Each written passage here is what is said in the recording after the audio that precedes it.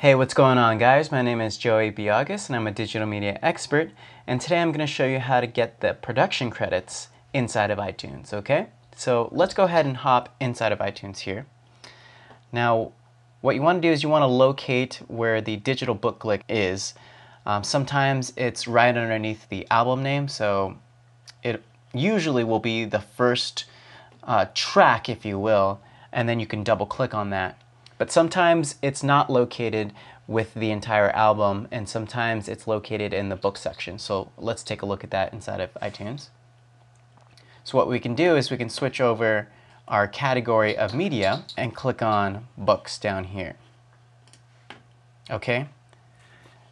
And then most of the time they're under the PDFs because they're PDF file. Okay, so we do have one here, which is Stairwells. It's a digital booklet.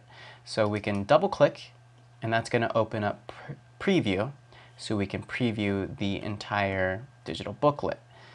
And usually they're located at the end of the album. So if we scroll through all the lyrics and the artwork, we can get near the end, here we go, where we have the production credits, like produced and engineered by Rich Arrangement and and the mix and where this album was recorded and who wrote all the songs. And basically everything is listed here for the production credits. So that's pretty much it in finding the production credits inside of iTunes. If you do have any other questions, please let us know and thank you for watching.